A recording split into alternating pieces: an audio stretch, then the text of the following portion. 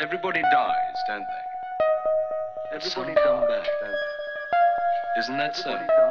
You tried to get into the locked room today, didn't you? You tried. How do the dead come back, Mother? What's the secret? Green Tea by Joseph Sheridan Le Fanu.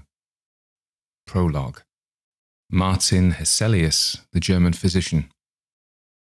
Though carefully educated in medicine and surgery, I have never practiced either. The study of each continues, nevertheless, to interest me profoundly. Neither idleness nor caprice caused my secession from the honourable calling which I had just entered. The cause was a very trifling scratch inflicted by a dissecting knife. The trifle cost me the loss of two fingers, amputated promptly, and the more painful loss of my health, for I have never been quite well since, and have seldom been twelve months together in the same place. In my wanderings, I became acquainted with Dr. Martin Hesselius, a wanderer like myself, like me, a physician, and like me, an enthusiast in his profession. Unlike me in this, that his wanderings were voluntary, and he a man, if not of fortune, as we estimate fortune in England, at least in what our forefathers used to term easy circumstances, he was an old man when I first saw him, nearly five and thirty years my senior. In Dr. Martin Hesselius, I found my master. His knowledge was immense. His grasp of a case was an intuition. He was the very man to inspire a young enthusiast like me with awe and delight. My admiration has stood the test of time and survived the separation of death. I am sure it was well founded. For nearly 20 years, I acted as his medical secretary. His immense collection of papers he has left in my care to be arranged, indexed, and bound. His treatment of some of the cases is curious. He writes in two distinct characters. He describes what he saw and heard as an intelligent layman might, and when in this style of narrative he had seen the patient either through his own hall door to the light of day, or through the gates of darkness to the caverns of the dead. He returns upon the narrative, and in the terms of his art, and with all the force and originality of genius, proceeds to the work of analysis, diagnosis, and illustration. Here and there, a case strikes me as of a kind to amuse or horrify a lay reader with an interest quite different from the peculiar one which it may possess for an expert. With slight modifications, chiefly of language, and of course a change of names, I copy the following. The narrator is Dr. Martin Hesselius. I find it among the voluminous notes of cases which he made during a tour in England about 64 years ago. It is related in a series of letters to his friend Professor Van Loo of Leyden. The professor was not a physician, but a chemist, and a man who read history and metaphysics and medicine and had in his day written a play. The narrative is therefore, if somewhat less valuable as a medical record, necessarily written in a manner more likely to interest an unlearned reader. These letters, from a memorandum attached, appear to have been returned on the death of the professor in 1819 to Dr. Hesselius. They are written some in English, some in French, but the greater part in German, I am a faithful, though I am conscious by no means a graceful translator, and although here and there I omit some passages and shorten others and disguise names, I have interpolated nothing. Chapter 1 Dr. Hesselius relates how he met the Reverend Mr. Jennings. The Reverend Mr. Jennings is tall and thin. He is middle aged and dresses with a natty, old fashioned, high church precision he is naturally a little stately, but not at all stiff. His features, without being handsome, are well formed, and their expression extremely kind, but also shy. I met him one evening at Lady Mary Heyduke's. The modesty and benevolence of his countenance are extremely prepossessing. We were but a small party, and he joined agreeably enough in the conversation. He seems to enjoy listening very much more than contributing to the talk but what he says is always to the purpose and well said. He is a great favourite of Lady Mary's, who, it seems, consults him upon many things, and thinks him the most happy and blessed person on earth. Little knows she about him. The Reverend Mr. Jennings is a bachelor, and has, they say, £60,000 in the funds. He is a charitable man. He is most anxious to be actively employed in his sacred profession, and yet, though always tolerably well elsewhere, when he goes down to his vicarage in Warwickshire to engage in the actual duties of his sacred calling, his health soon fails him, and in a very strange way. So says Lady Mary. There is no doubt that Mr. Jennings's health does break down in generally a sudden and mysterious way, sometimes in the very act of officiating in his old and pretty church at Kenlis. It may be his heart, it may be his brain, but so it has happened three or four times, or oftener, that after proceeding a certain way in the service, he has on a sudden stopped short, and after a silence, apparently quite unable to resume, he has fallen into solitary, inaudible prayer, his hands and his eyes uplifted, and then, pale as death, and in the agitation of a strange shame and horror, descended trembling and got into the vestry room, leaving his congregation without explanation to themselves. This occurred when his curate was absent. When he goes down to Kenlis now, he always takes care to provide a clergyman to share his duty and to supply his place on the instant should he become thus suddenly incapacitated. When Mr. Jennings breaks down quite and beats a retreat from the vicarage and returns to London, where in a dark street off Piccadilly he inhabits a very narrow house, Lady Mary says that he is always perfectly well. I have my own opinion about that. There are degrees, of course. We shall see. Mr. Jennings is a perfectly gentlemanlike man. People, however, remark something odd. There is an impression, a little ambiguous. One thing which certainly contributes to it, people I think don't remember, or perhaps distinctly remark, but I did, almost immediately. Mr. Jennings has a way of looking sidelong upon the carpet, as if his eye followed the movements of something there. This, of course, is not always, it occurs now and then, but often enough to give a certain oddity, as I have said, to his manner. And in this glance travelling along the floor, there is something both shy and anxious. A medical philosopher, as you are good enough to call me, elaborating theories by the aid of cases sought out by himself, and by him watched and scrutinized with more time at command, and consequently infinitely more minuteness than the ordinary practitioner can afford, falls insensibly into habits of observation which accompany him everywhere, and are exercised, as some people would say, impertinently, upon every subject that presents itself with the least likelihood of rewarding inquiry. There was a promise of this kind in the slight, timid, kindly, but reserved gentleman whom I met for the first time at this agreeable little evening gathering. I observed, of course, more than I here set down, but I reserve all that borders on the technical for a strictly scientific paper. I may remark that when I here speak of medical science, I do so, as I hope some day, to see it more generally understood, in a much more comprehensive sense than its generally material treatment would warrant. I believe the entire natural world is but the ultimate expression of that spiritual world from which and in which alone it has its life. I believe that the essential man is a spirit, that the spirit is an organized substance, but as different in point of material from what we ordinarily understand by matter as light or electricity is, that the material body is, in the most literal sense, a vesture, and death, consequently, no interruption of the living man's existence, but simply his extrication from the natural body, a process which commences at the moment of what we term death, and the completion of which, at furthest a few days later, is the resurrection in power. The person who weighs the consequences of these positions will probably see their practical bearing upon medical science. This is, however, by no means the proper place for displaying the proofs and discussing the consequences of this too generally unrecognized state of facts. In pursuance of my habit, I was covertly observing Mr. Jennings with all my caution.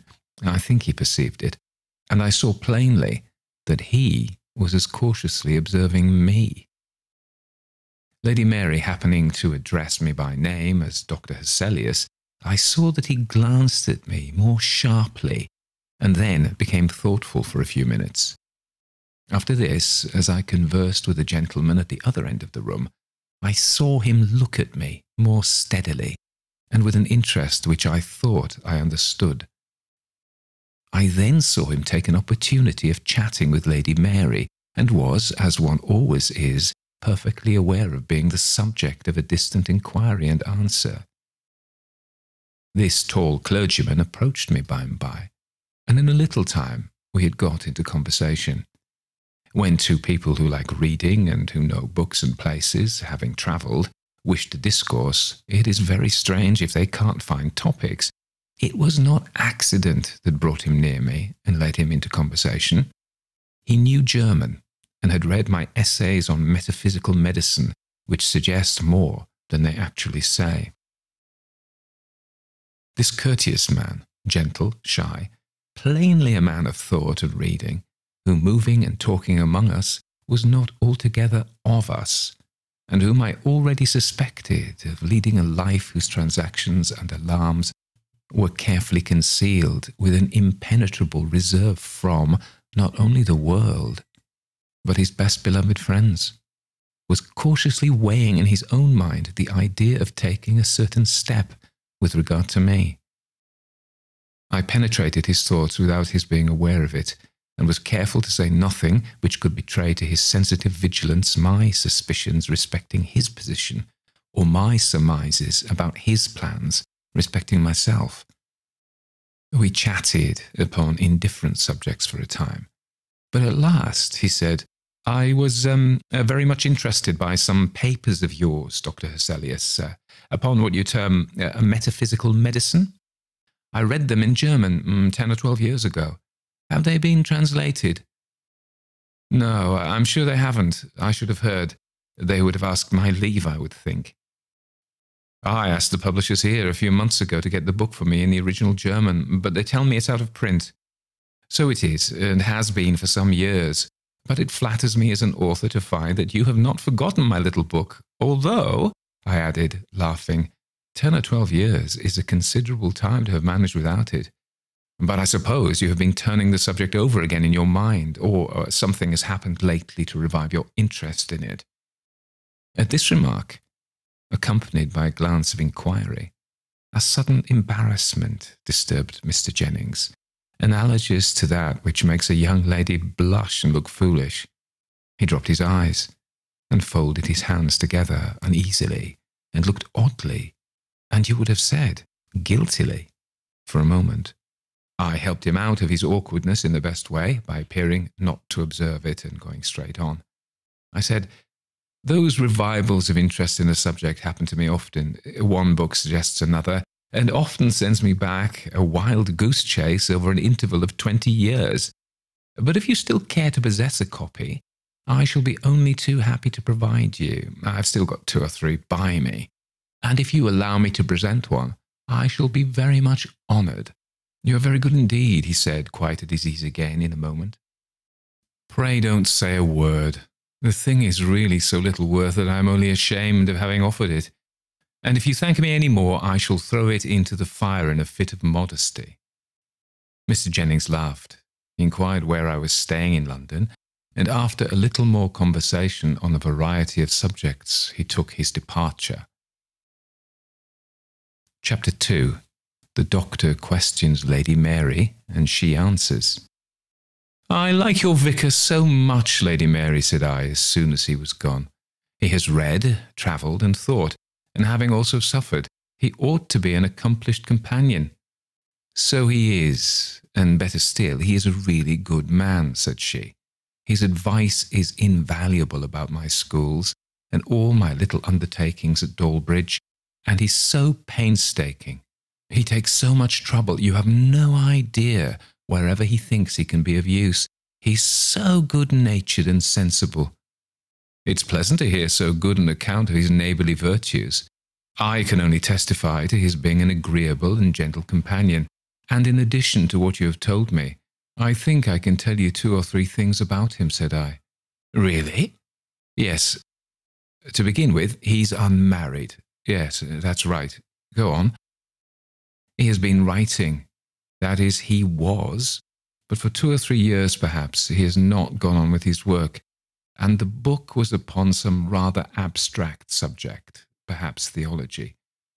Well, he was writing a book, as you say. I'm not quite sure what it was about but only that it was nothing that I cared for. Very likely you're right. And he certainly did stop. Yes. And although he only drank a little coffee here tonight, he likes tea, at least, did like it extravagantly. Yes, that's quite true. He drank green tea a good deal, didn't he? I pursued. Well, that's very odd. Green tea was a subject on which we used almost to quarrel. But he has quite given that up, said I. So he has. And now, one more fact. His mother or his father, uh, did you know them? Yes, sir, both. His father is only ten years dead, and their place is near Dawlbridge. We knew them very well, she answered. Well, either his mother or his father, I should rather think his father, saw a ghost, said I. Well, you really are a conjurer, Dr. Hesselius. Conjurer or no, haven't I said right? I answered merrily. You certainly have. And it was his father. He was a silent, whimsical man, and he used to bore my father about his dreams.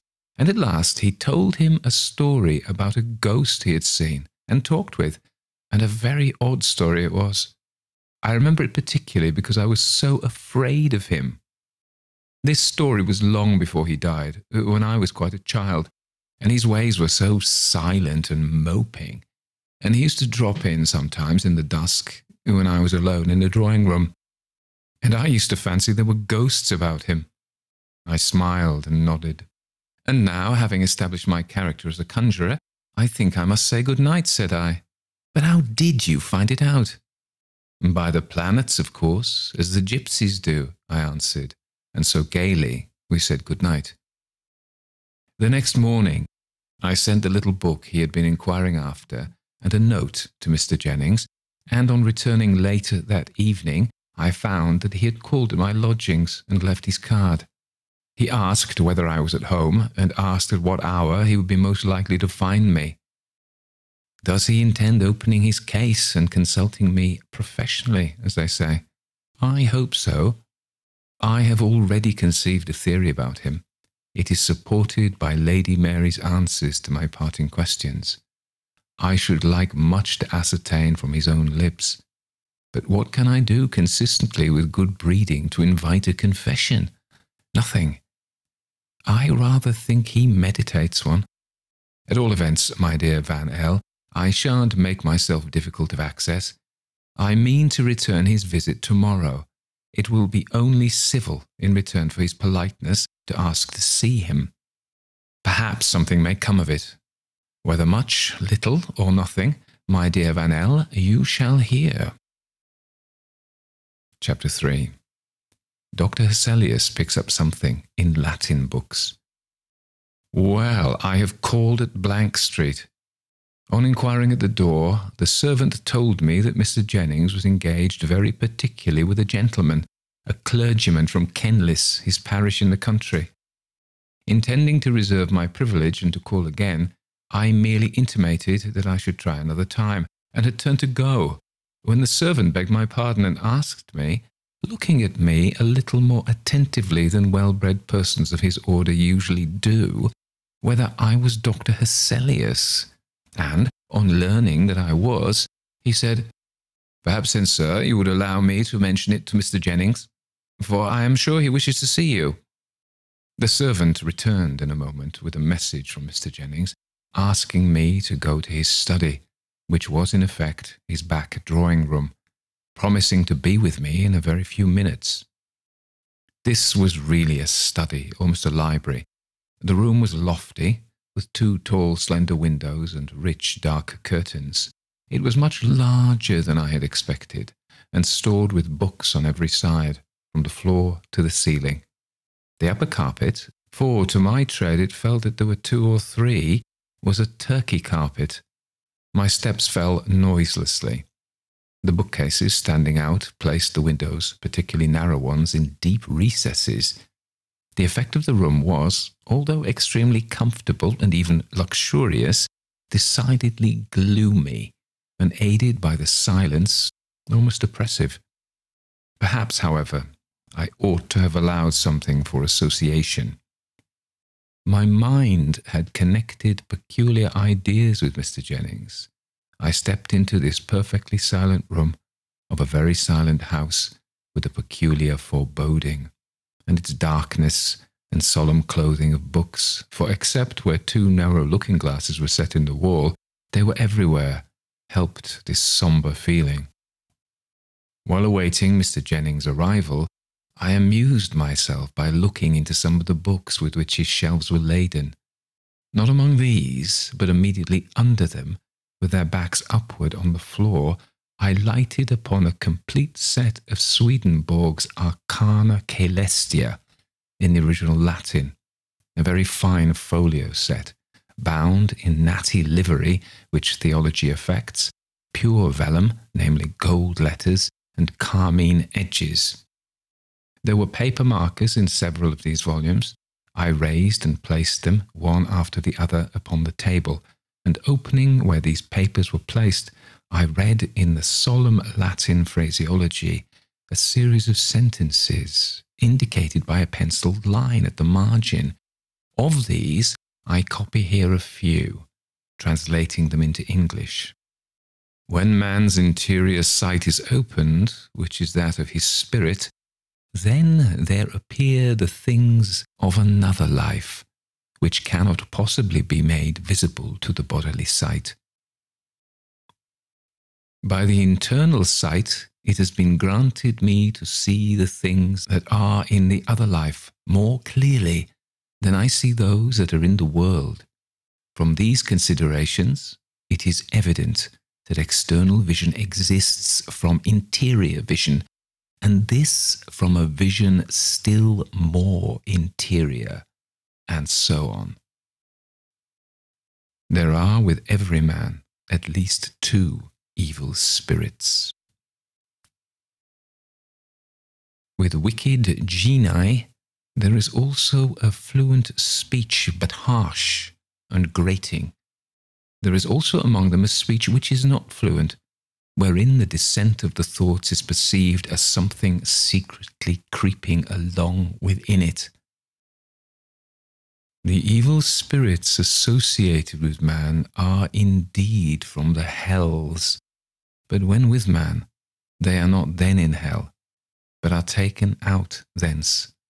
The place where they then are is in the midst between heaven and hell, and is called the world of spirits, where the evil spirits who are with man are in that world. They are not in infernal torment, but in every thought and affection of man, and so in all that the man himself enjoys. But when they are remitted into their hell, they return to their former state. If evil spirits could perceive that they were associated with man, and yet that they were spirits separate from him, and if they could flow into the things of his body, they would attempt by a thousand means to destroy him. For they hate man with a deadly hatred. Knowing, therefore, that I was a man in the body, they were continually striving to destroy me, not as to the body only, but especially as to the soul. For to destroy any man or spirit is the very delight of the life of all who are in hell. But I have been continually protected by the Lord. Hence, it appears how dangerous it is for man to be in a living consort with spirits, unless he be in the good of faith. Nothing is more carefully guarded from the knowledge of associate spirits than their being thus conjoint with a man. For if they knew it, they would speak to him with the intention to destroy him. The delight of hell is to do evil to a man and to hasten his eternal ruin. A long note written with a very sharp and fine pencil in Mr. Jennings' neat hand at the foot of the page caught my eye. Expecting his criticism upon the text, I read a word or two and stopped, for it was something quite different, and began with these words Deus misereatur me. May God compassionate me. Thus warned of its private nature, I averted my eyes and shut the book replacing all the volumes as I had found them, except one, which interested me, and in which, as men studious and solitary in their habits will do, I grew so absorbed as to take no cognizance of the outer world, nor to remember where I was. I was reading some pages which refer to representatives and correspondence in the technical language of Swedenborg, and had arrived at a passage, the substance of which is that evil spirits when seen by other eyes than those of their infernal associates, present themselves by correspondence in the shape of the beast, Fera, which represent their particular lust and life in aspect direful and atrocious. This is a long passage and particularizes a number of those bestial forms. Chapter 4 Four eyes were reading the passage I was running the head of my pencil case along the line as I read it, and something caused me to raise my eyes. Directly before me was one of the mirrors I have mentioned, in which I saw reflected the tall shape of my friend, Mr. Jennings, leaning over my shoulder and reading the page at which I was busy, and with a face so dark and wild that I should hardly have known him. I turned and rose he stood erect also, and with an effort laughed a little, saying, I came in and asked you how you did, but without succeeding in awaking you from your book. So uh, I couldn't restrain my curiosity, and very impertinently, I'm afraid, peeped over your shoulder. This is not your first time of looking into those pages. You have looked into Swedenborg, no doubt, long ago. Oh dear, yes, I owe Swedenborg a great deal. You'll discover traces of him in the little book on metaphysical medicine which you were so good as to remember. Although my friend affected a gaiety of manner, there was a slight flush in his face, and I could perceive that he was inwardly much perturbed. I'm scarcely yet qualified. I know so little of Swedenborg. I've only had them a fortnight, he answered. And I, and I think they're rather likely to make a solitary man nervous. That, that is, judging from the very little I've read. I don't say that they have made me so, he laughed, and I'm so very much obliged for the book. I hope you got my note. I made all proper acknowledgments and modest disclaimers. I never read a book that I go with so entirely as that of yours, he continued. I saw at once there is more in it than is quite unfolded. Do you know Dr. Harley? he asked, rather abruptly. In passing, the editor remarks that the physician here named was one of the most eminent who had ever practiced in England. I did, having had letters to him and had experienced from him great courtesy and considerable assistance during my visit to England. I think that man one of the very greatest fools I ever met in my life, said Mr. Jennings. This was the first time I had ever heard him say a sharp thing of anybody, and such a term applied to so high a name a little startled me. Really? And in what way? I asked. In his profession, he answered. I smiled. I mean this, he said. He seems to me one half blind. I mean, one half of all he looks at is dark. Preternaturally bright and vivid, all the rest. And the worst of it is it seems willful. I can't get him. I mean, he won't. I've had some experience of him as a physician, but I look on him as, in that sense, no better than a paralytic mind, an intellect half dead. I'll tell you, I know I shall sometime, all about it, he said, with a little agitation. You stay some months longer in England. If I should be out of town during your stay for a little time, would you allow me to trouble you with a letter? But I, I should be only too happy. I assured him. Very good of you. I am so utterly dissatisfied with Harley. A, little leaning to the materialistic school, I said. A mere materialist, he corrected me. You can't think how that sort of thing worries one who knows better. You won't tell anyone, any of my friends you know, that I am hippish now, for instance. No one knows, not even Lady Mary, that I have seen Dr. Harley or any other doctor, so pray don't mention it. And if I should have any threatening of an attack, you, you'll kindly let me write, or, should I be in town, have a little talk with you. I was full of conjecture, and unconsciously I found I had fixed my eyes gravely on him, for he lowered his for a moment and said, I see you think I might as well tell you now, or else you're forming a conjecture, but you may as well give it up. If you were guessing all the rest of your life, you'll never hit on it. He shook his head, smiling, and over that wintry sunshine, a black cloud suddenly came down, and he drew his breath in through his teeth, as men do in pain. Sorry, of course, to learn that you apprehend occasion to consult any of us, but command me when and how you like. I need not assure you that your confidence is sacred. He then talked of quite other things, and in a comparatively cheerful way, and after a little time, I took my leave. Chapter 5 Dr. Hesselius is summoned to Richmond. We parted cheerfully, but he was not cheerful nor was I. There are certain expressions of that powerful organ of spirit, the human face, which, although I have seen them often and possess a doctor's nerve, yet disturb me profoundly. One look of Mr. Jennings haunted me. It had seized my imagination with so dismal a power that I changed my plans for the evening and went to the opera, feeling that I wanted a change of ideas. I heard nothing of or from him for two days or three days when a note in his hand reached me. It was cheerful and full of hope. He said that he had been for some little time so much better, quite well in fact, that he was going to make a little experiment and run down for a month or so to his parish to try whether a little work might not quite set him up. There was in it a fervent religious expression of gratitude for his restoration, as he now almost hoped he might call it. A day or two later, I saw Lady Mary, who repeated what his note had announced and told me he was actually in Warwickshire, having resumed his clerical duties at Kenlis, and she added, I begin to think that he's really perfectly well, or that there was never anything the matter more than nerves and fancy.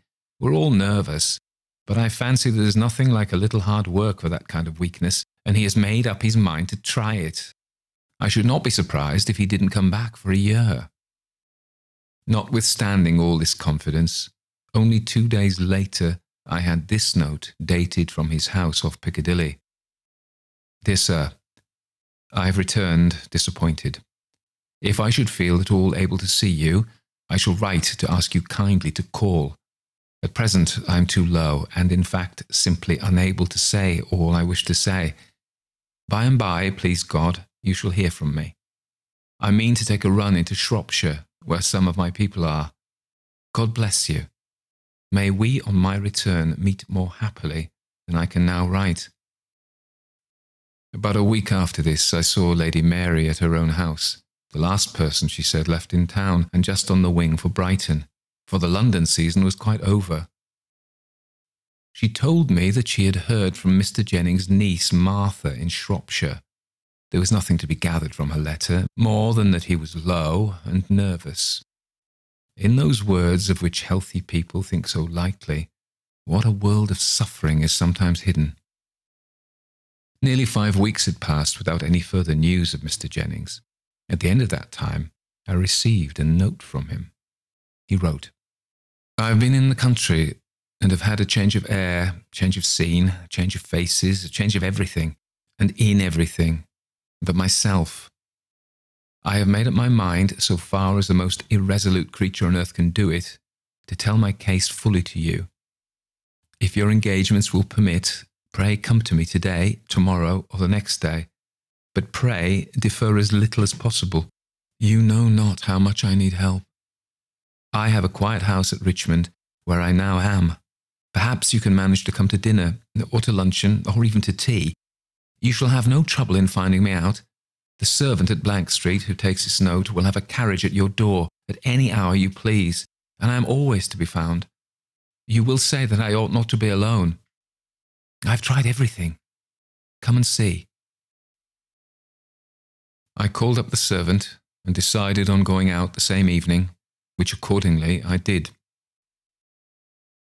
He would have been much better in a lodging house or hotel, I thought, as I drove up through a short double row of sombre elms to a very old fashioned brick house, darkened by the foliage of these trees which overtopped and nearly surrounded it. It was a perverse choice, for nothing could be imagined more triste and silent. The house I found belonged to him. He had stayed for a day or two in town, and finding it for some cause insupportable, had come out here probably because, being furnished and his own, he was relieved of the thought and delay of selection by coming here. The sun had already set, and the red reflected light of the western sky illuminated the scene with the peculiar effect with which we are all familiar. The hall seemed very dark, but getting to the back drawing room, whose windows commanded the west, I was again in the same dusky light.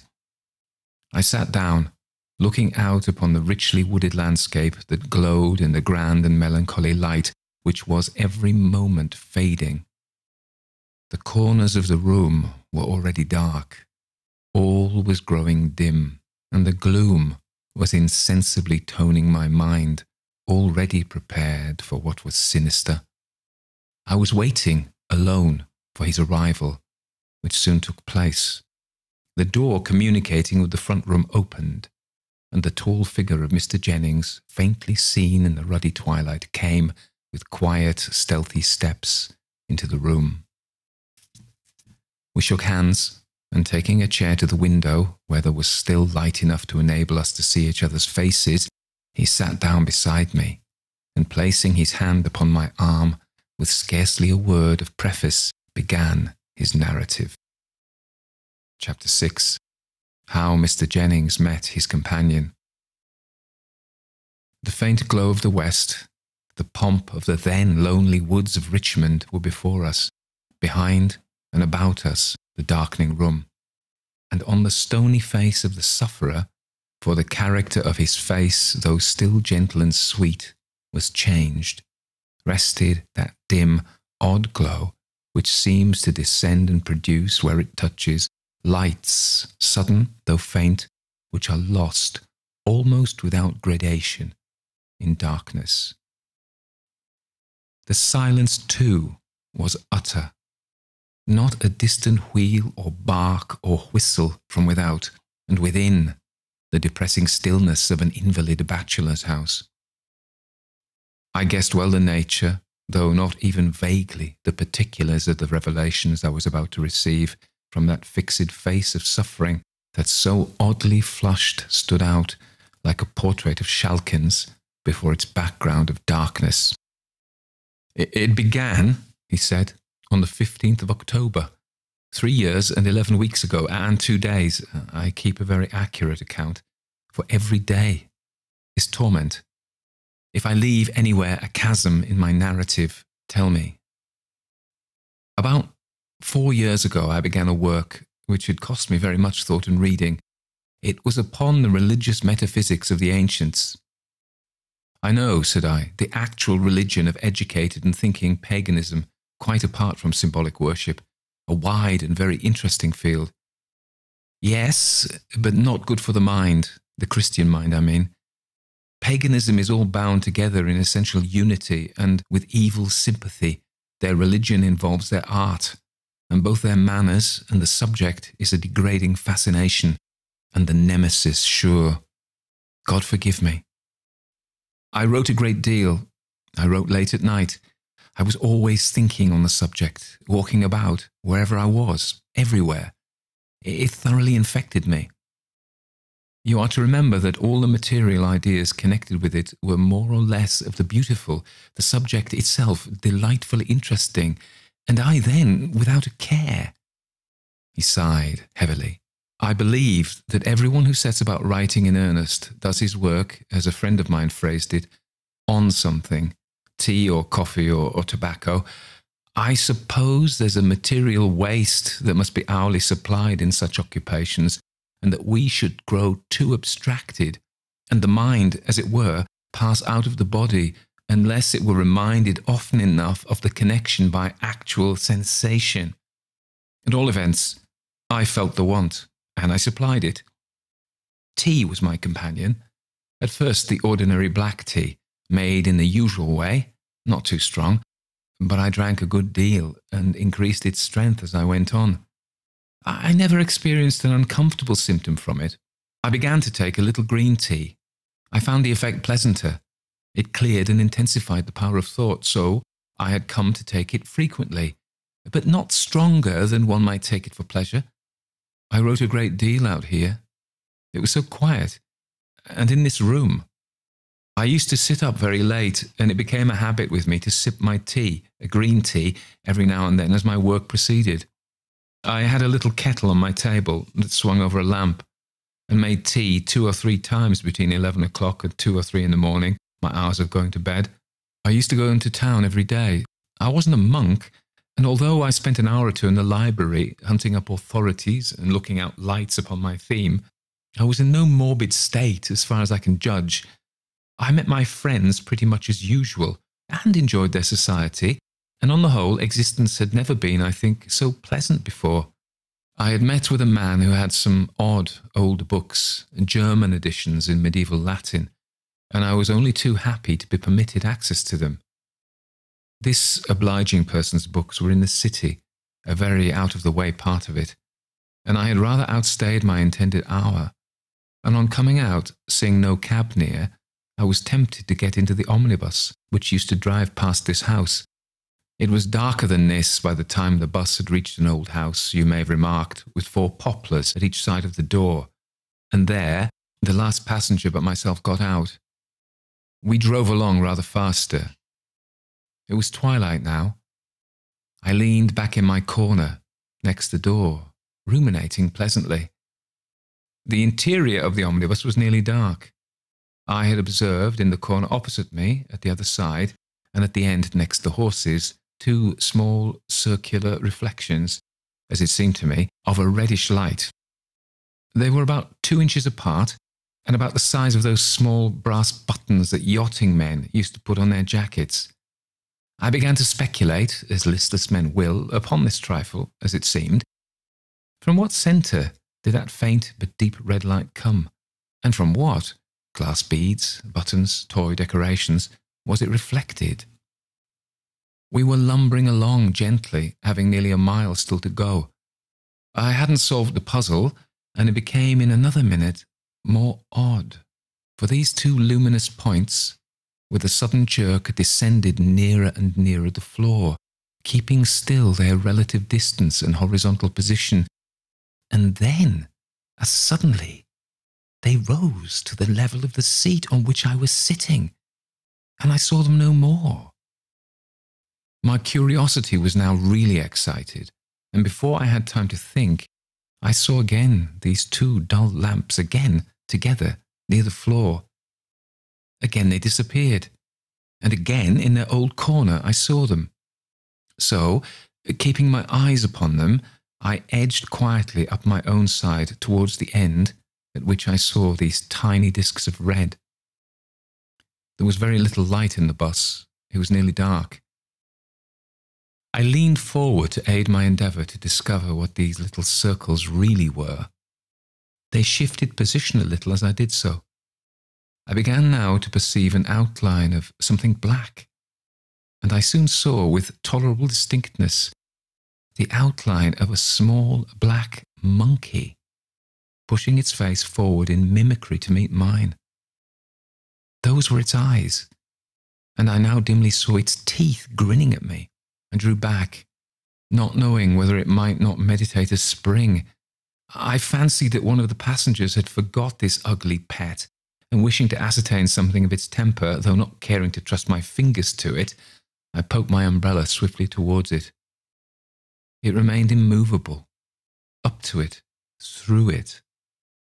For through it and back and forward it passed, without the slightest resistance. I can't in the least convey to you the kind of horror that I felt when I had ascertained that the thing was an illusion, as I then supposed. There came a misgiving about myself and a terror that fascinated me in impotence to remove my gaze from the eyes of the brute for some moments. As I looked, it made a little skip back, quite into the corner, and I, in a panic, found myself at the door, having put my head out, drawing deep breaths of the outer air and staring at the lights and trees we were passing, too glad to reassure myself of reality. I stopped the bus and got out. I perceived the man looked oddly at me as I paid him. I dare say there was something unusual in my looks and manner, for I had never felt so strangely before. Chapter 7 The Journey, First Stage. When the omnibus drove on, and I was alone upon the road, I looked carefully round to ascertain whether the monkey had followed me. To my indescribable relief, I saw it nowhere. I can't describe easily what a shock I had received, and my sense of genuine gratitude on finding myself, as I supposed, quite rid of it. I had got out a little before we reached this house, two or three hundred steps. A brick wall runs along the footpath, and inside the wall is a hedge of yew or some dark evergreen of that kind, and within that again the row of fine trees which you may have remarked as you came. This brick wall is about as high as my shoulder, and happening to raise my eyes, I saw the monkey with that stooping gait, on all fours, walking or creeping, close beside me, on top of the wall. I stopped looking at it with a feeling of loathing and horror. As I stopped, so did it. It sat upon the wall with its long hands on its knees, looking at me. There was not light enough to see it much more than in outline, nor was it dark enough to bring the peculiar light of its eyes into strong relief. I still saw, however, that red foggy light plainly enough. It didn't show its teeth, nor exhibit any sign of irritation, but seemed jaded and sulky and was observing me steadily. I drew back into the middle of the road. It was an unconscious recoil, and there I stood, still looking at it. It, didn't move. With an instinctive determination to try something, anything, I turned about and walked briskly towards town with a scant look, all the time watching the movements of the beast. It crept swiftly along the wall at exactly my pace. Where the wall ends, near the turn of the road, it came down, and with a, a wiry spring or two brought itself close to my feet, and continued to keep up with me as I quickened my pace. It was at my left side, so close to my leg that I felt every moment as if I should tread upon it. The road was quite deserted and silent, and it was darker every moment. I stopped, dismayed and bewildered, turning as I did so the other way, I mean towards this house, away from which I had been walking, when I stood still, the monkey drew back to a distance of, I suppose, about five or six yards, and remained stationary, watching me.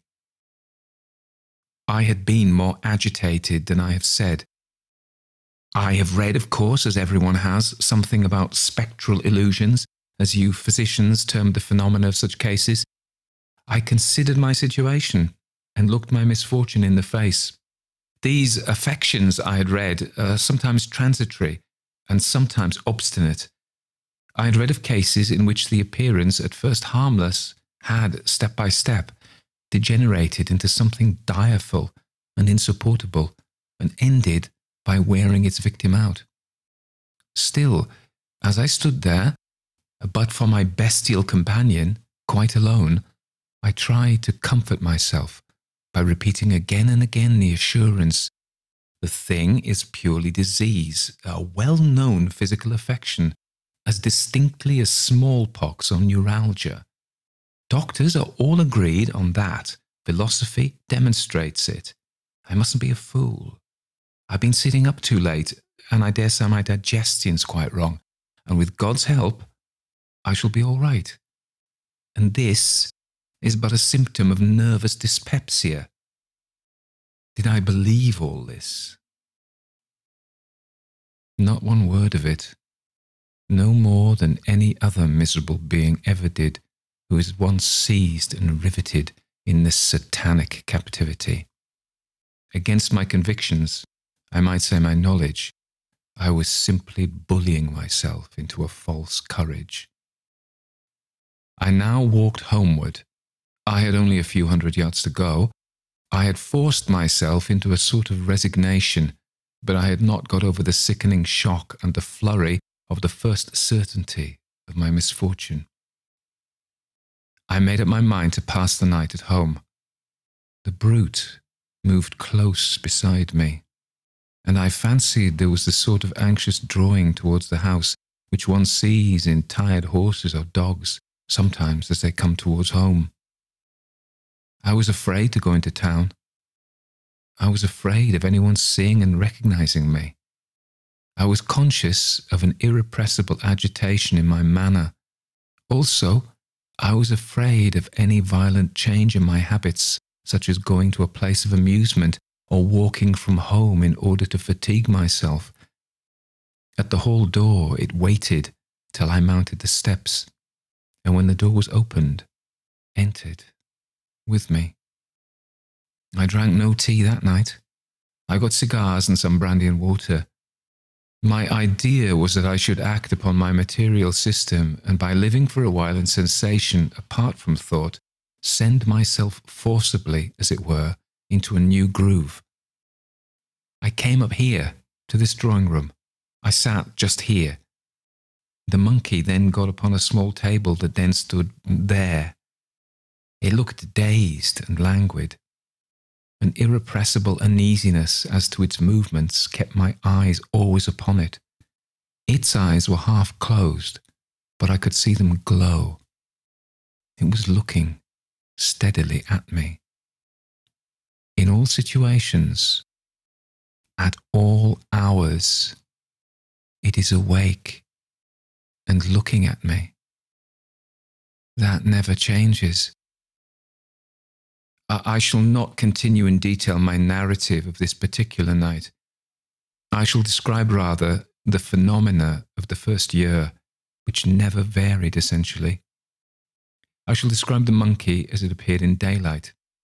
In the dark, as you shall presently hear, there are peculiarities. It is a small monkey, perfectly black. It had only one peculiarity a character of malignity unfathomable malignity. During the first year, it looked sullen and sick, but this character of intense malice and vigilance was always underlying that surly languor.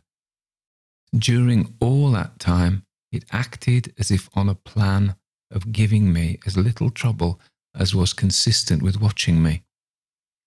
Its eyes were never off me. I have never lost sight of it, except in my sleep, light or dark, day or night, since it came here, except when it withdraws for some weeks at a time, unaccountably. In total dark, it is visible as in daylight. I do not mean merely its eyes. It is all visible distinctly in a halo that resembles a glow of red embers and which accompanies it in all its movements. When it leaves me for a time, it's always at night, in the dark, and in the same way. It grows at first uneasy, and then furious, and then advances towards me, grinning and shaking, its paws clenched, and at the same time, there comes the appearance of fire in the grate.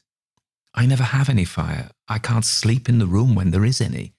And it draws nearer and nearer to the chimney, quivering, it seems, with rage, and when its fury rises to the highest pitch, it springs into the grate and up the chimney, and I see it no more. When this first happened, I thought I was released. I was now a new man. A day passed, a night, and no return. And a blessed week, a week, another week. I was always on my knees, Dr. Hesselius, always thanking God and praying. A whole month passed of liberty, but on a sudden, it was with me again. Chapter 8 The Second Stage It was with me, and the malice which before was torpid under a sullen exterior was now active. It was perfectly unchanged in every other respect. This new energy was apparent in its activity and its looks, and soon in other ways. For a time, you will understand, the change was shown only in an increased vivacity and an air of menace, as if it were always brooding over some atrocious plan. Its eyes, as before, were never off me. Is it here now? I asked. No, he replied. It has been absent exactly a fortnight and a day, fifteen days.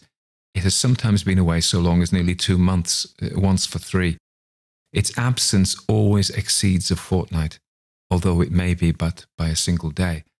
Fifteen days having passed since I saw it last, it may return now at any moment. Is its return, I asked, accompanied by any uh, peculiar manifestation?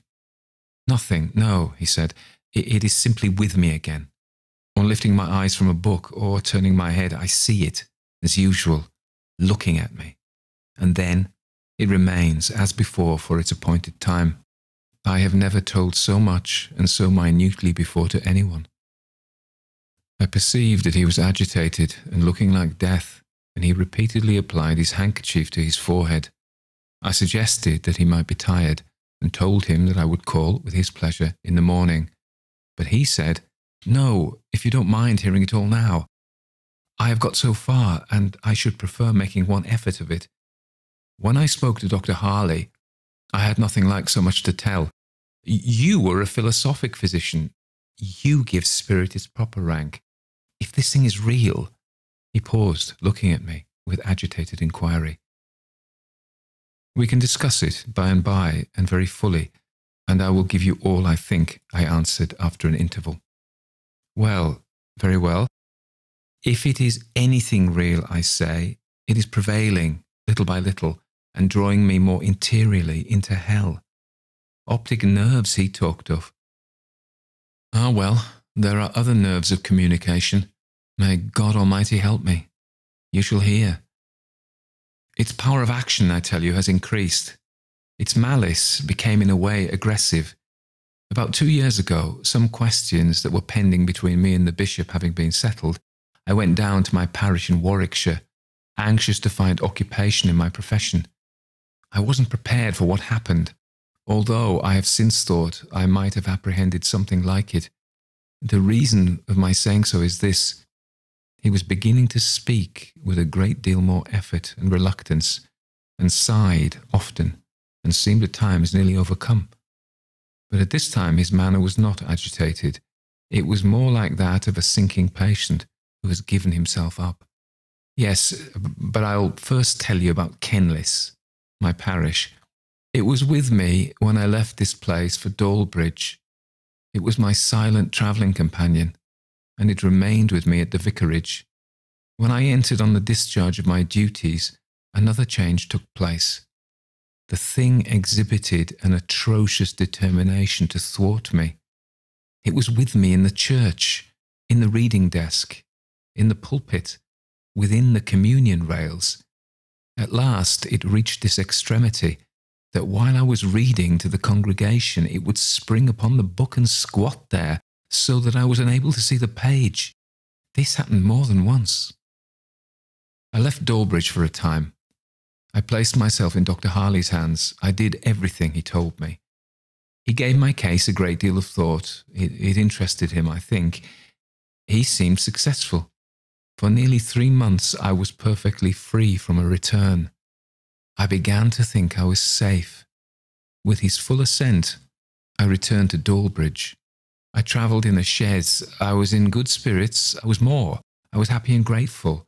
I was returning, as I thought, delivered from a dreadful hallucination to the scene of duties which I longed to enter upon. It was a beautiful sunny evening. Everything looked serene and cheerful, and I was delighted. I remember looking out of the window to see the spire of my church at Kenlis among the trees, at the point where one has the earliest view of it. It's exactly where the little stream that bounds the parish passes under the road by a culvert, and where it emerges at the roadside, a stone with an old inscription is placed. As we passed this point, I drew my head in and sat down, and in the corner of the chaise was the monkey. For a moment I felt faint, and then, quite wild with despair and horror, I called to the driver and got out and sat down at the roadside and prayed to God silently for mercy. A despairing resignation supervened. My companion was with me as I re entered the vicarage. The same persecution followed. After a short struggle, I submitted, and soon I left the place. I told you, he said, that the beast has before this become in certain ways aggressive. I'll explain a little. It seemed to be actuated by intense and increasing fury whenever I said my prayers, or even meditated prayer. It amounted at last to a dreadful interruption. You will ask, how could a silent, immaterial phantom effect that? It was thus, whenever I meditated praying, it was always before me, and nearer and nearer.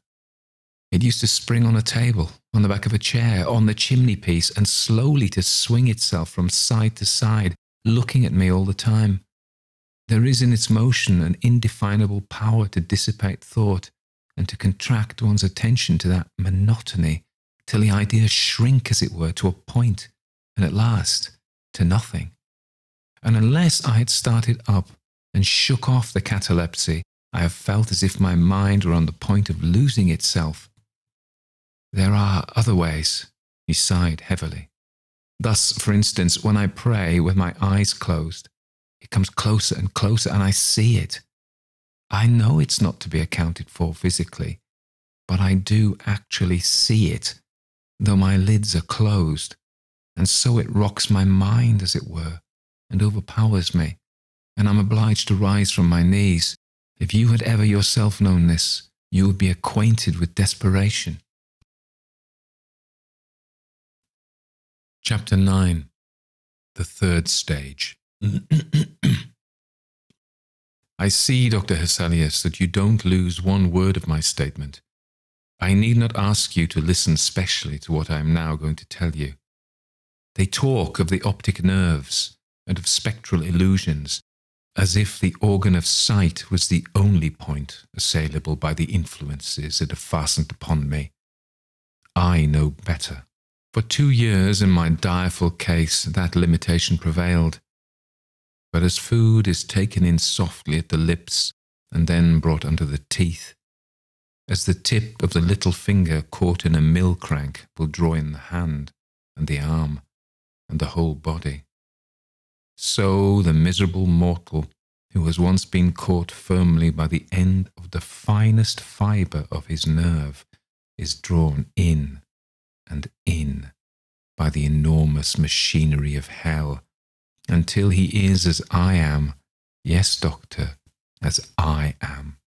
For while I talk to you and implore relief, I feel that my prayer is for the impossible and my pleading with the inexorable. I endeavoured to calm his visibly increasing agitation and told him that he must not despair. While we talked, the night had overtaken us. The filmy moonlight was wide over the scene which the window commanded, and I said, Perhaps you'd prefer having candles. This light, you know, is, is odd. I should wish you as much as possible under your usual conditions while I make my diagnosis, shall I call it. Otherwise, I don't care. All lights are the same to me, he said, except when I read or write. I care not if night were perpetual. And I'm going to tell you what happened about a year ago. the thing began to speak to me. Speak? How do you mean? Speak as a man does, do you mean? Yes. Speak in words and consecutive sentences with perfect coherence and articulation. But there is a peculiarity. It's not like the tone of a human voice. It's not by my ears it reaches me. It comes like a singing through my head. This faculty, the power of speaking to me, will be my undoing. It won't let me pray. It interrupts me with dreadful blasphemies. I dare not go on. I could not. Oh, doctor, can the skill and thought and prayers of man avail me nothing? You must promise me, dear sir, not to trouble yourself with unnecessarily exciting thoughts.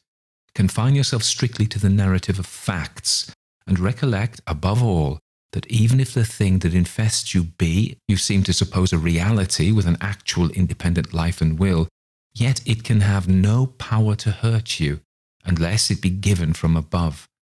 Its access to your senses depends mainly upon your physical condition. This is, under God, your comfort and reliance. We are all alike environed. It is only that in your case, the paries, the veil of the flesh, the screen, is a little out of repair, and sights and sounds are transmitted. We must enter on a new course, sir. Be encouraged. I'll give tonight to the careful consideration of the whole case. You are very good, sir. Y- you think it worth trying. You don't give me quite up. But, sir, you don't know. It is gaining such an influence over me. It orders me about. It is such a tyrant. And I'm growing so helpless. May God deliver me.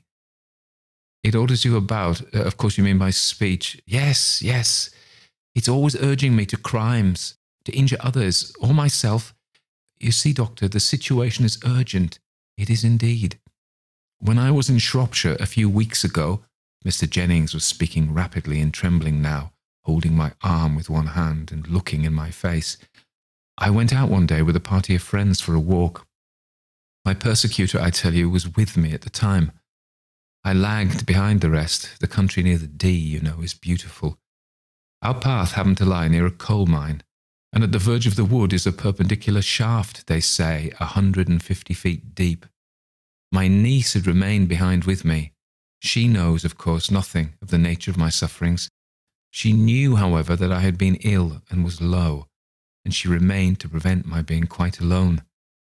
As we loitered slowly on together, the brute that accompanied me was urging me to throw myself down the shaft. I tell you now, oh sir, think of it. The one consideration that saved me from that hideous death was the fear lest the shock of witnessing the occurrence should be too much for the poor girl. I asked her to go on and walk with her friends, saying that I could go no further. She made excuses, and the more I urged her, the firmer she became. She looked doubtful and frightened. I suppose there was something in my looks or manner that alarmed her, but she wouldn't go on, and that literally saved me. You have no idea, sir, that a living man could be made so abject a slave of Satan, he said with a ghastly groan and a shudder. There was a pause here, and I said, You were preserved, nevertheless. It was the act of God. You are in His hands and in the power of no other being. Be therefore confident for the future. Chapter 10 Home I made him have candles lighted and saw the room looking cheery and inhabited before I left him. I told him that he must regard his illness strictly as one dependent on physical, though subtle physical causes. I told him that he had evidence of God's care and love in the deliverance which he had just described, and that I had perceived with pain that he seemed to regard its peculiar features as indicating that he had been delivered over to spiritual reprobation. Than such a conclusion, nothing could be, I insisted, less warranted, and not only so, but more contrary to facts, as disclosed in his mysterious deliverance from that murderous influence during his Shropshire excursion. First, his niece had been retained by his side without his intending to keep her near him, and secondly, there had been infused into his mind an irresistible repugnance to execute the dreadful suggestion in her presence. As I reasoned this point with him, Mr. Jennings wept. He seemed comforted. One promise I exacted, which was that should the monkey at any time return, I should be sent for immediately, and repeating my assurance that I would give neither time nor thought to any other subject until I had thoroughly investigated his case, and that tomorrow he should hear the result, I took my leave. Before getting into the carriage, I told the servant that his master was far from well, and that he should make a point of frequently looking into his room. My own arrangements I made with a view to being quite secure from interruption. I merely called at my lodgings and with a travelling desk and carpet bag set off in a hackney carriage for an inn about two miles out of town called the Horns, a very quiet and comfortable house with good thick walls. And there I resolved, without the possibility of intrusion or distraction, to devote some hours of the night in my comfortable sitting room to Mr. Jennings's case, and so much of the morning as it might require.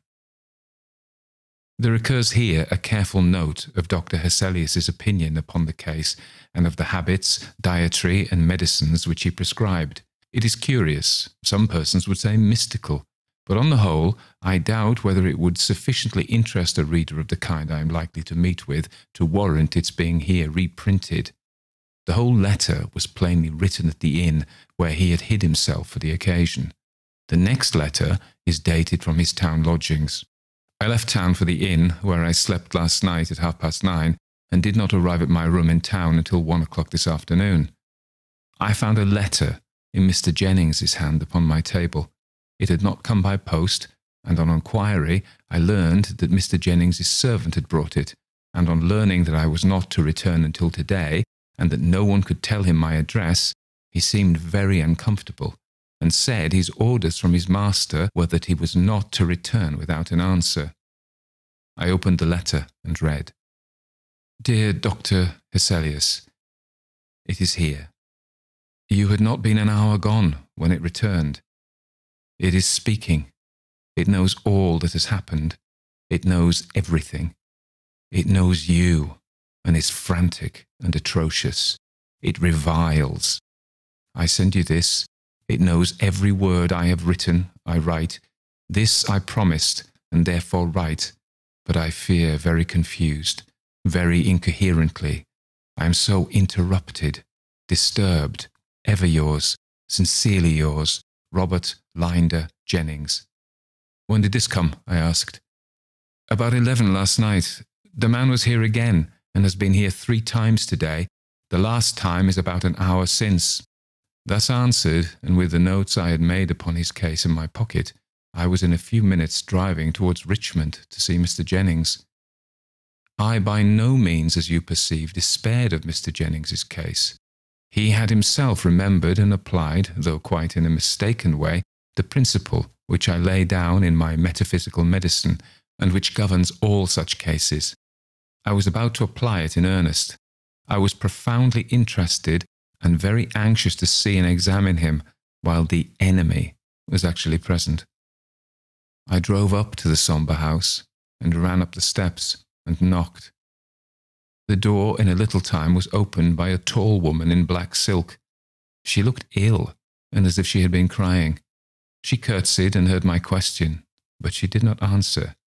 She turned her face away, extending her hand towards two men who were coming downstairs, and thus having, as it were, tacitly made me over to them, she passed through a side door hastily and shut it.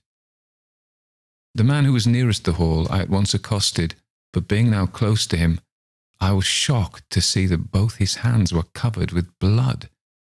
I drew back a little, and the man, passing downstairs, merely said in a low tone, Here's the servant, sir. The servant had stopped on the stairs, confounded and dumb at seeing me. He was rubbing his hands in a handkerchief, and it was steeped in blood. Jones, what is it? What's happened? I asked, while a sickening suspicion overpowered me. The man asked me to come up to the lobby. I was beside him in a moment, and frowning and pallid, with contracted eyes, he told me the horror which I already half guessed. His master had made away with himself. I went upstairs with him to the room. What I saw there I won't tell you. He had cut his throat with his razor. It was a frightful gash. The two men had laid him on the bed and composed his limbs. It had happened, as the immense pool of blood on the floor declared, at some distance between the bed and the window. There was carpet round his bed, and a carpet under his dressing table, but none on the rest of the floor, for the man said he did not like a carpet on his bedroom. In this sombre and now terrible room, one of the great elms that darkened the house was slowly moving the shadow of one of its great boughs upon this dreadful floor. I beckoned to the servant, and we went downstairs together. I turned off the hall into an old fashioned panelled room, and there standing, I heard all the servant had to tell. It was not a great deal. I concluded, sir, from your words and looks, sir, as you left last night, that you thought my master was seriously ill. I thought it might be that you were afraid of a fit or something. So I attended very close to your directions. He sat up late till past three o'clock. He wasn't writing or reading. He was talking a great deal to himself, but that was nothing unusual. At about that hour, I assisted him to undress and left him in his slippers and dressing gown. I went back softly in about half an hour. He was in his bed, quite undressed, and a pair of candles lighted on the table beside his bed. He was leaning on his elbow and looking out at the other side of the bed when I came in. I asked him if he wanted anything, but he said no. I don't know whether it was what you said to me, sir, or, or something a little unusual about him, but I was uneasy, uncommon uneasy about him last night. In another half hour, or it might be a little more, I went up again. I didn't hear him talking as before. I opened the door a little. The candles were both out, which was not usual. I had a bedroom candle, and I let the light in a little bit, looking softly round. I saw him sitting in that chair beside the dressing table, with his clothes on again. He turned round and looked at me. I thought it strange he should get up and dress and put out the candles to sit in the dark that way. But I only asked him again if I could do anything for him. He said no, rather sharp, I thought. I asked him if I might light the candles, and he said, Do as you like, Jones. So I lighted them, and I lingered about the room. And he said, Tell me the truth, Jones. Why did you come again? You didn't hear anyone cursing. No, sir, I said, wondering what he could mean. No, he said after me. Of course, no. And I said to him, wouldn't it be well, sir, you went to bed? It's just five o'clock. And he said nothing, but very likely. Good night, Jones. So I went, sir. But in less than an hour I came again. The door was fast, and he heard me and called, as I thought, from the bed to know what I wanted, and he desired me not to disturb him again. I lay down and slept for a little. It must have been between six and seven when I went up again. The door was still fast, and he made no answer, so I didn't like to disturb him, and thinking he was asleep, I left him till nine. It was his custom to ring when he wished me to come, and I had no particular hour for calling him. I tapped very gently, and getting no answer, I stayed away a good while, supposing he was getting some rest then. It wasn't till eleven o'clock I grew really uncomfortable about him, for at the latest he was never, that I could remember, later than half past ten. I got no answer. I knocked and called, and still no answer. So, not being able to force the door, I called Thomas from the stables, and together we forced it and found him in the shocking way you saw. Jones had no more to tell. Poor Mr. Jennings was very gentle and very kind. All his people were very fond of him. I could see that the servant was very much moved. So, dejected and agitated, I passed from that terrible house and its dark canopy of elms, and I hope I shall never see it more. While I write to you, I feel like a man who has but half waked from a frightful and monotonous dream. My memory rejects the picture with incredulity and horror, yet I know it is true. It is the story of the process of a poison a poison which excites the reciprocal action of spirit and nerve and paralyzes the tissue that separates those cognate functions of the senses, the external and the interior. Thus we find strange bedfellows, and the mortal and immortal prematurely make acquaintance. Conclusion A word for those who suffer. My dear Van L., you have suffered from an affection similar to that which I have just described. You twice complained of a return of it. Who under God cured you? Your humble servant Martin Hesselius. Let me rather adopt the more emphasized piety of a certain good old French surgeon of 300 years ago. I treated, and God cured you. Come, my friend, you are not to be hippish. Let me tell you a fact. I have met with and treated, as my book shows, 57 cases of this kind of vision, which I term indifferently sublimated, precocious, and interior. There is another class of affections which are truly termed, though commonly confounded with those which I describe, spectral illusions. These latter I look upon as being no less simply curable than a cold in the head or a trifling dyspepsia. It is those which rank in the first category that test our promptitude of thought. Fifty seven such cases have I encountered, neither more nor less. And in how many of those cases have I failed? In no one single instance. There is no one affliction of mortality more easily and certainly reducible with a little patience and a rational confidence in the physician with these simple conditions, I look upon the cure as absolutely certain. You are to remember that I had not even commenced to treat Mr. Jennings's case. I have not any doubt that I should have cured him perfectly in 18 months, or possibly it might have extended to two years. Some cases are very rapidly curable, others extremely tedious. Every intelligent physician who will give thought and diligence to the task will effect a cure. You know my tract on the cardinal functions of the brain. I there, by the evidence of innumerable facts, prove, as I think, the high probability of a circulation arterial and venous in its mechanism through the nerves. Of this system, thus considered, the brain is the heart. The fluid, which is propagated hence through one class of nerves, returns in an altered state through another, and the nature of that fluid is spiritual though not immaterial, any more than, as I before remarked, light or electricity are so. By various abuses, among which the habitual use of such agents as green tea is one, this fluid may be affected as to its quality, but it is more frequently disturbed as to equilibrium.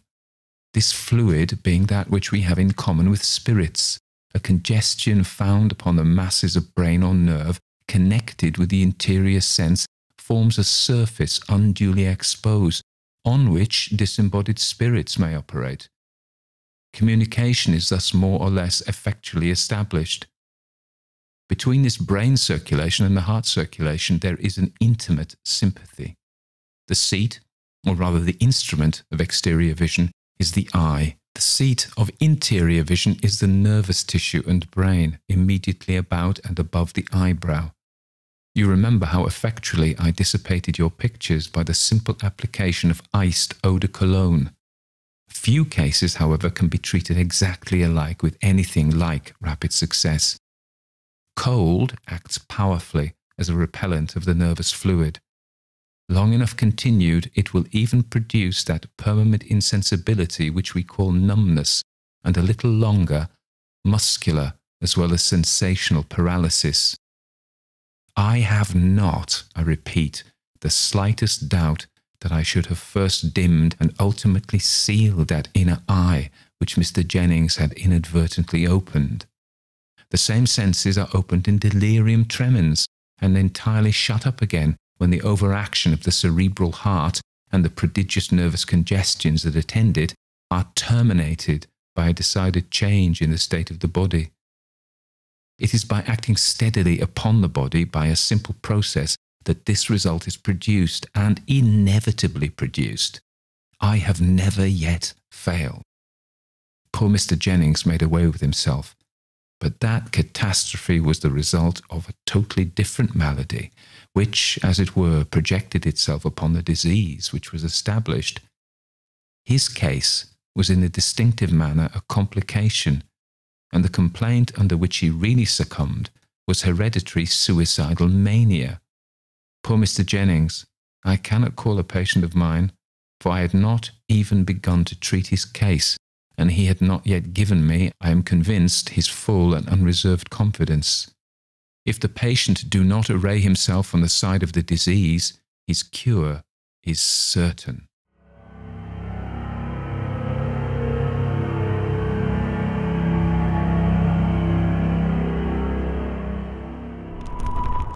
So that was Green Tea by Joseph Sheridan Le Fanu.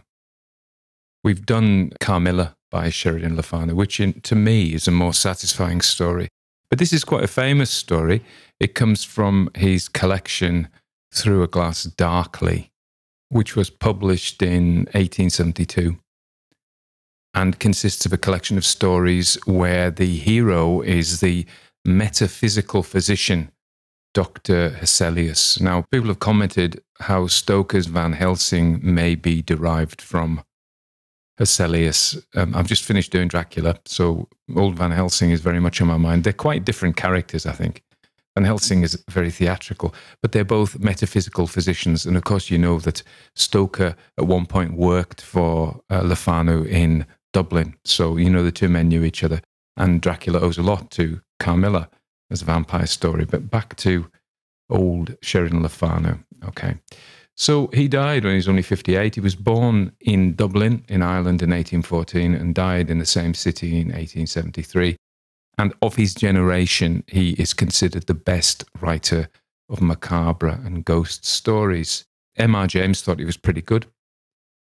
Le Fanu, as you could maybe tell from the name, his, his family were of mixed Huguenot French. Of course, the Huguenot French were the Protestant French who fled the persecution during the religious wars and, and came to Great Britain, came to England as a Protestant country. And because England at that time had occupied Ireland, some of them went to Ireland as well, hence the Huguenots in Dublin, which was the Protestant hegemony, I guess. And of course, the other side was English Sheridan.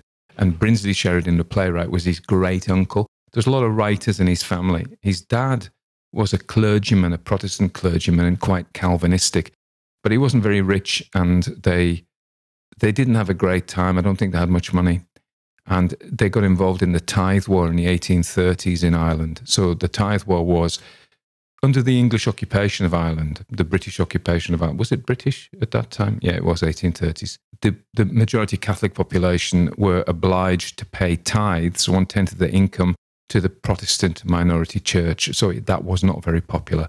And there were uprisings, and old uh, Le Fanu's dad was kicked out of Limerick or returned from Limerick during that time. Le Fanu went to study law at Trinity College in Dublin. Uh, but even from an early age, he uh, wrote ghost stories for the local papers. One nice thing about him was that he took part in a campaign against the British government's indifference to the potato famine when lots of people were dying in Ireland of starvation, and the British government did not really do much about it and let them die. We could, you could say actively, and I think the view of many Irish people would be they connived in the decimation of the Irish population for their own causes, you know. And um, anyway, let's not get into that. Okay, so he, he married, and his wife had a lot of mental health problems. I don't think he was a happy guy, really. And he died in 1873, only 58. He was a prolific writer as well as being in the legal profession. Green Tea is a funny old story. It's a long story. It's an hour and a half, even edited. When when I read it out, and I'm a fast reader, people say that we, we get comments about that. So it is a long story. When you read critiques of it on the internet, they quite rightly point out, from our point of view, reading in 2021, this is there's no way anybody would publish this story now. It is it is so unfashionable. Okay, it, it's a frame story, and the frame story is this unnamed narrator who is the collector of Hesselius's papers. In a similar way, later Conan Doyle will have Watson collect his detectives' papers. So it's a frame. There's a lot of kind of philosophical ramblings, both at the beginning. We have him he, about Swedenborg. Swedenborg was a, a very uh, influential Swedish spiritualist philosopher with a quite a convoluted and complicated uh, system of how the spiritual world, world worked. But he was very influential in his time, and Le Fanu, we know, was very interested in these things. So Le Fanu spends some time in his story, probably telling us theories that are dear to his heart, which any modern publisher would tell a writer to cut out because they're not integral to the story. So we get quotes about Swedenborg's view of the spirit. The only thing that is relevant to the story is a quote about how a man can have evil spirits attached to him, sometimes two, and sometimes they take animal form. Aha, here's a foreshadowing. This is the monkey coming up. So that is actually probably your publisher, your editor would have let you kept that bit in. A lot of the rest of it would have gone. And it's Swedenborg and um, Swedenborg, Sheridan Le Fanu talking about his own theories. Anyway, then we have the story. There's lots of telling, not so much showing. So to me, this long story, it consists of two elements. The first is the story, and that is interesting in itself, and it's surrounded by a shell of philosophy, which is also interesting, but for a different reason. It probably he could have taken that out as an essay on um, his spiritual beliefs. Anyway, we'll go on. We'll look at the story first. We are bound to see parallels in other stories, such as Guy de Maupassant's The Horla and uh, Charlotte Perkins Gilman's The Yellow Wallpaper, just to quote two that we've read out on the Classic Ghost Stories podcast. Are these hallucinations or is it a spiritual presence? And Le Fanu's conclusion is mixed. I think he's saying that spiritual entities can influence the human mind to create what is, in fact, a spiritual illness. And basically, I think what he's saying is, in essence, green tea has opened his inner eye and he's seeing inner visions. And if only he'd let Hesselius get some iced eau de cologne and put it on his forehead, on his third eye, then he would have been cured. But unfortunately, he had another problem, which was hereditary suicidal mania. So the, so the story itself is of, of an encroaching, increasing madness, habitation, haunting, if you like, of this monkey, whether it be a spirit, whether it be a hallucination. Now, we've got to understand that Le Fanu is interested in this spiritual world anyway. And in his time, psychiatry at this time was just emerging from medicine. It was trying to be scientific, so it was coming up with theories for these bewildering symptoms. So what we've got is what if somebody came to see me today, I'd probably give them a little, but maybe try them a little bit of risperidone just to see if that helped. We would we would clearly diagnose this person with a psychotic illness. Now, psychosis, to my mind, is a symptom. So you can get psychosis, which we would describe as um, a, a, a, separating from reality. So uh, neurosis, of course, is whereby we, we are distressed, but we keep our grip on the common reality. And psychosis traditionally is where we've lost that understanding of, of, we don't agree with other people about things. You know, we have delusions and hallucinations which we are convinced are true, which other people don't believe in, but we will not listen to them.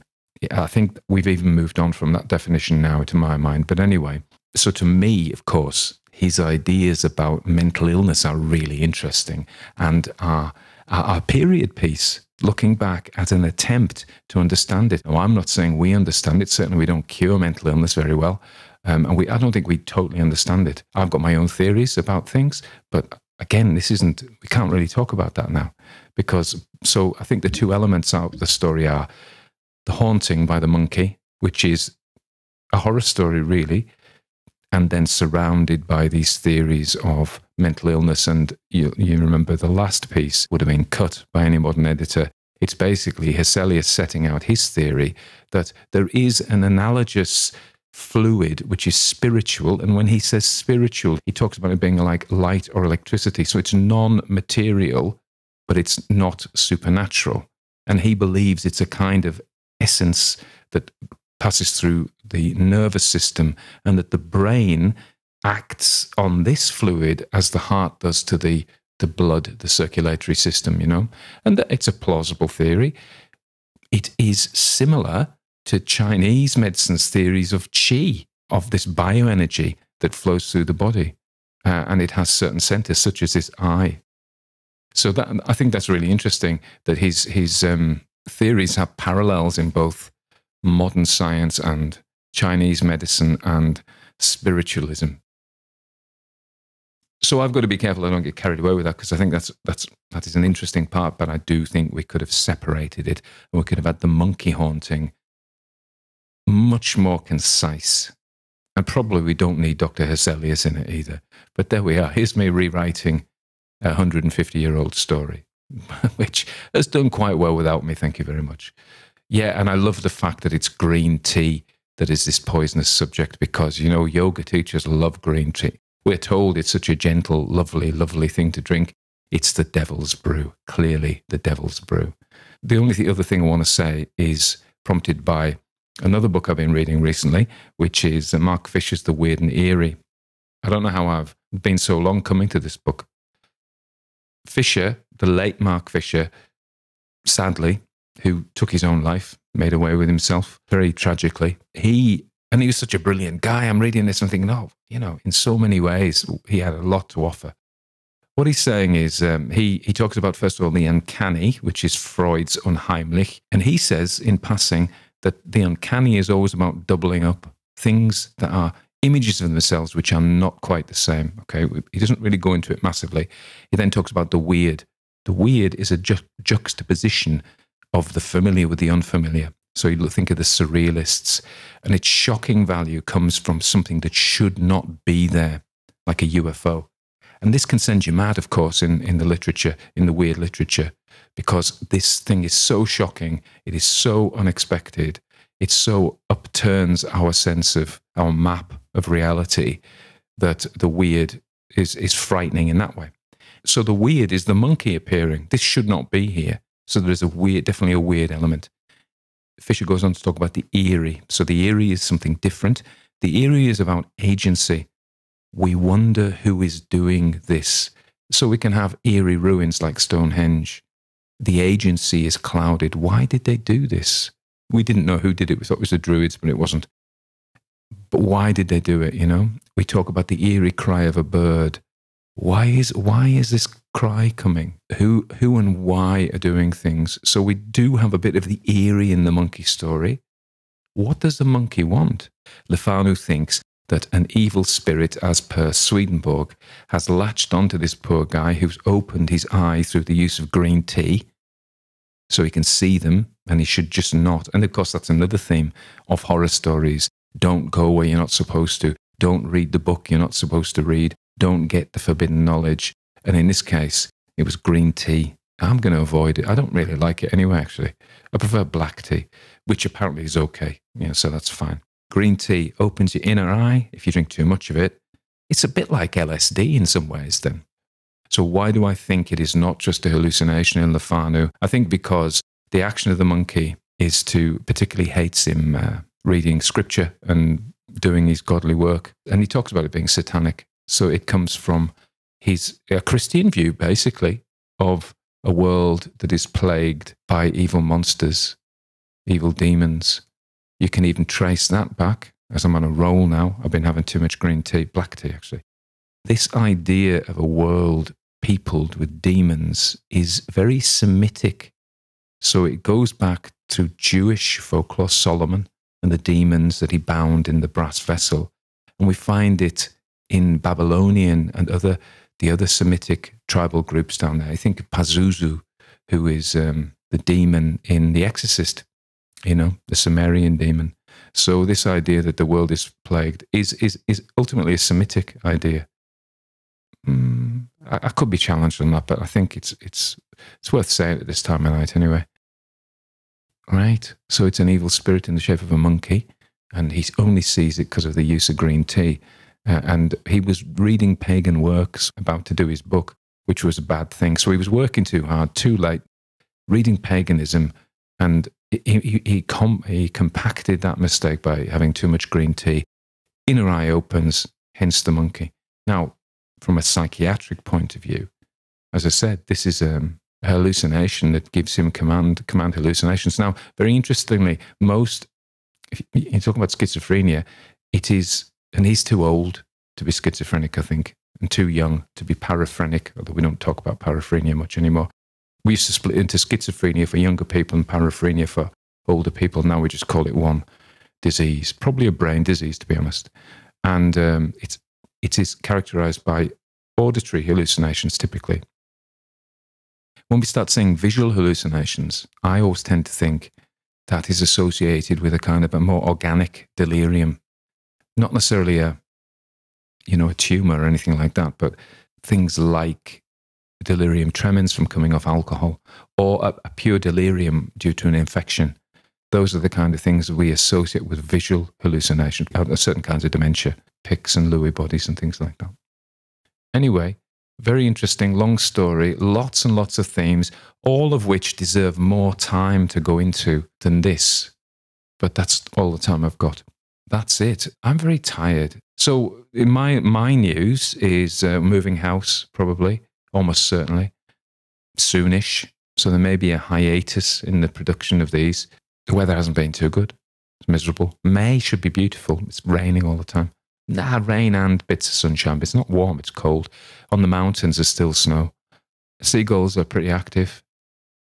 Cars are still rotten round here. Still rotten. Rotten gearboxes making a heck of a noise as they go past my door. You may hear some of them. That's about it, I think. I'm working three days a week, but I'm busier on this with this and YouTube and Substack and all this. I'm busier than ever been, which is good, really. Anyway, ramble, ramble, ramble, ramble. I hope you're all well. If you could I tell you what, I haven't done a call to action for a long time. I should have a little jingle call to action. And what I'd like you to do is tell somebody about the podcast stroke YouTube channel and say, hey, actually, that's, I've just started to think there's lots of stuff going on on the YouTube channel. Lots of people talking about why I shouldn't be reading stories A, narrated by a woman character, B, written by a woman. I'm like, okay. And some people have this strange idea that there's like a whole company of us here, that I, I could just pick a host of actors to do. Oh, you, Jeanette, do this one. But you know, it's only me. So I have to be Scottish, Australian, man, woman, monkey, anything. And the whole issue of cultural appropriation comes up. Is it okay for me to read a story written by somebody from China? Or is that, is, am I imperialistically grabbing? Or should I therefore do an Italian story? Or can I read a story as an Italian woman, written by an Italian woman? Or, you know, a Scottish woman? Or because I'm not a woman and I'm not Scottish it just gets too crazy. So all I'm doing is reading stories, eh? That's it. I'm just reading you stories that I like. Hopefully you like. Let's not get too involved in in all of this kind of rubbish. Uh, let, I'm just going to keep reading stories, eh? And if people don't like it, I tell you what, mate, listen to somebody else. Crack on. Anyway, there we go. Rant over. See, i am now should be going to bed, and i I've got myself all agitated about that. By and large, people are very kind you are, because you've listened this long, you must be, at least long suffering. Anyway, you all take care. I am off to bed.